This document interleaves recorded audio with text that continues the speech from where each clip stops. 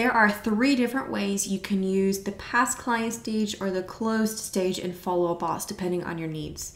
Scenario number one is you can use the closed stage for past clients you worked with, but you don't want to stay in touch with them. They were more of a nightmare client per se, or just someone who wasn't a great fit.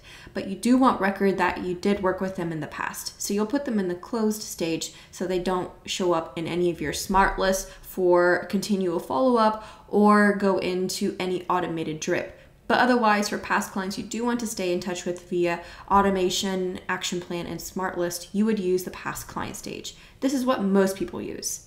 The second scenario is some people use the closed stage for people they worked with this year. So, for example, if you worked with someone in 2023, they would be in the closed stage. But once 2023 passes, they would move the lead to the past client to the past client stage. Reason for this is perhaps you want to do more often follow up, more frequent follow up with people who are in the closed stage to check in to see how they're doing uh, post sale or post closing on their home.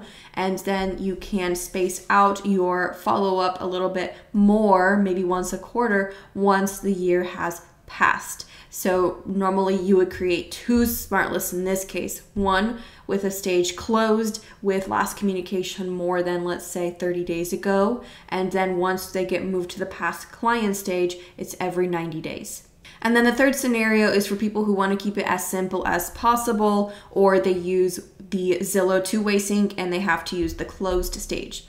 In this case, a lot of uh, people will use only closed stage and not past client to keep it simple and put all past clients, regardless of whether or not they were a good client and want to keep in touch with, or if they were closed this year or last year. I hope you found this video helpful. Please be sure to like and subscribe so you don't miss my next videos for more quick tips for using Follow Boss.